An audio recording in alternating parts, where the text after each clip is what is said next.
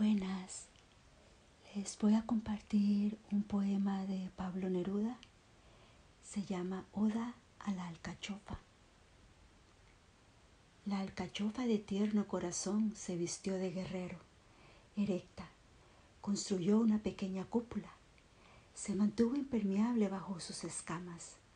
A su lado los vegetales locos se encresparon, se hicieron zarcillos, espadañas, bulbos conmovedores. En el subsuelo durmió la zanahoria de bigotes rojos. La viña resecó los sarmientos por donde sube el vino.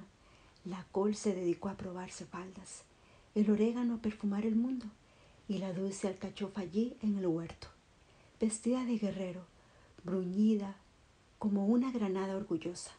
Y un día, una con otra, en grandes cestos de mimbre, camino por el mercado a realizar su sueño la milicia. En hilera nunca fue tan marcial como en la feria.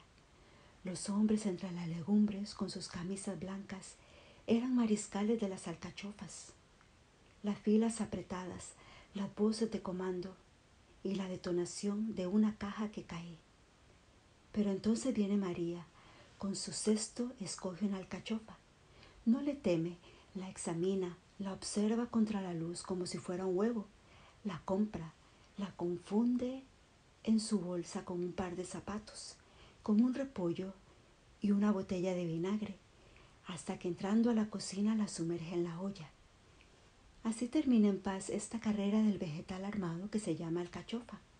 Luego, escama por escama, desvestimos la delicia y comemos la pacífica pasta de su corazón verde.